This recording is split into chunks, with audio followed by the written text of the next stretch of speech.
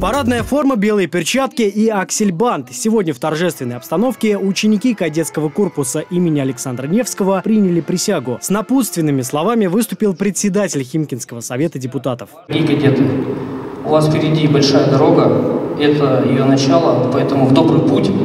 А мы со своей стороны, и администрация, и депутатский корпус всегда готовы помогать вам, потому что в сложные периоды вашей жизни вы не оставались одни. Поддержать своих старших товарищей пришли и ученики младших классов, а также родители воспитанников. Я благодарю родителей и горжусь ими.